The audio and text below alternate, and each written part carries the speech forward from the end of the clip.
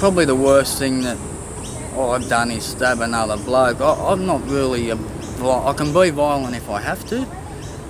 I'm not violent at heart, you know. Um, you know, I'd rather avoid it Yeah. if I can. A week later, I um, was on a visit and I'd got a hundred rohypnol on the visit. I'd taken four on the visit, so I've got this parcel of 96 rowies up my ass. I remember walking into the wing and I laid down on the bed. It was Sunday afternoon, four o'clock. Football was just about to start, and um, I'd nodded off. Next thing, I wake up with a wooden squash bat. I've been smashed straight across the nose, and I remember sitting up, and I've opened my eyes, and there was like six curries in the cell. One was wailing me with the bat, another one was stabbing me, the other one for punching me. Like it was all going on 100 mile an hour. Got stabbed three times. There, there, there, in the arm. I, I was full of rowies and I'd just been smashed in my sleep with a wooden squash bat on the side.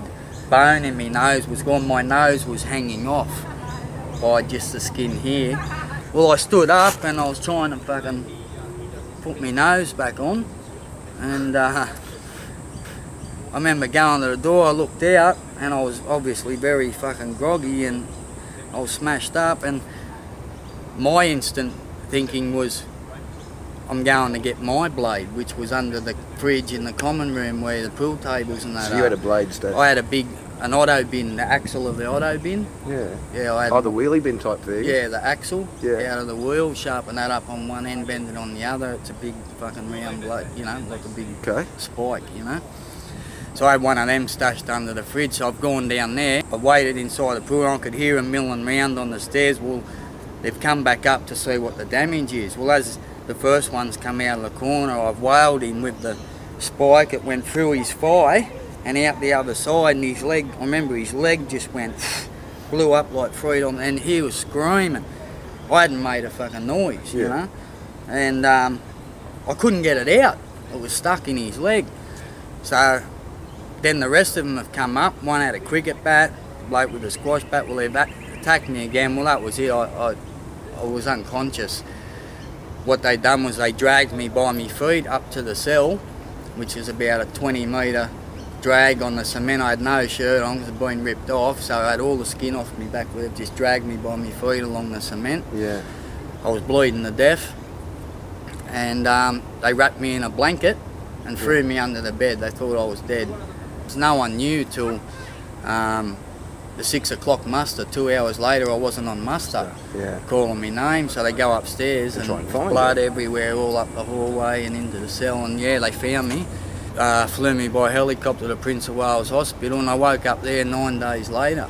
Mm. My head was just a fucking bulb, and my hands were all smashed. I had a punctured lung, I had tubes out of me everywhere. I was very lucky to survive. And it was funny though, like I remember my missus saying, I look down the front of your pants," and and this is in the first five minutes of waking up. I remember opening my undies, and there was all the rowies. Somewhere during the fight, the the parcels popped out of my ass into my underpants. Well, she's found it, and then changed me into clean stuff and put it back in. And, and I wasn't in too much pain because I was just swallowing handfuls of them every day, you know, while I was in hospital.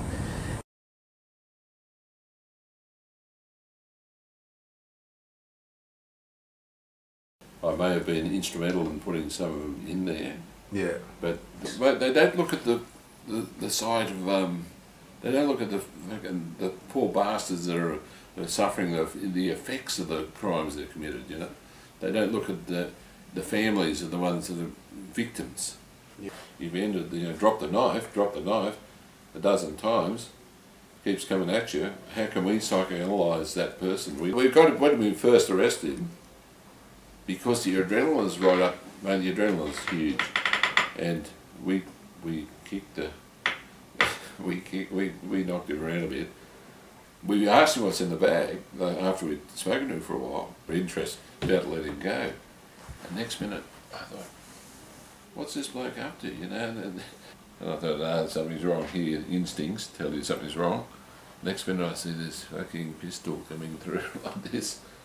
And I, thought, I got my, I can't remember to this day getting my gun out. I went, boom, boom. And one of them sort of just winged him. Put a bit of a grey. We out the footpath, shook him up a bit, and got some bit of heroin, bit of other drugs and shit. Took him back to Parramatta detectives and said, mate, is that you in the, you know, this- another 18 armed hold-ups he admitted to? Is that you with the shotty? Yeah, that's, that's me. Is that you with the baseball bat and you with the knife? Bang, video surveillance. And um, he said, yeah, that was me, that was me. He said, he said, you fucking, you should have taught that senior constable to shoot a bit straighter. He said, I'm going back to jail after this. He said,